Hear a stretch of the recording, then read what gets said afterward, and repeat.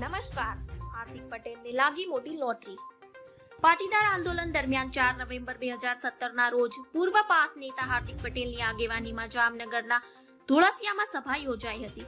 આ સભામાં રાજકીય ભાષણ મુદ્દે ફરિયાદ થઈ હતી, જેને લઈને હાર્દિક પટેલ વિરુદ્ધ કેસ દાખલ કરવામાં આવ્યો હતો. જે બાદ આજે જામનગર કોર્ટે ચુકાદો આપ્યો છે. જામનગરના કેસમાં વિરમ ગામના એમએલએ હાર્દિક પટેલ નિર્દોષ જાહેર કરાયા છે. પાટીદાર અનામત આંદોલન કેસ મામલે ચુકાદો આવ્યો છે. જામનગર કોર્ટે એમએલએ હાર્દિક પટેલને નિર્દોષ જાહેર કર્યો છે. સભામાં વિવાદસ્પદ ટિપ્પણીના કેસમાં નિર્દોષ કરાયો છે. વર્ષ બે હજાર સત્તરના કેસમાં દલીલો પૂર્ણ થયા બાદ આજે વિરમ ગામના ધારાસભ્ય હાર્દિક પટેલને નિર્દોષ જાહેર કરવામાં આવ્યો છે.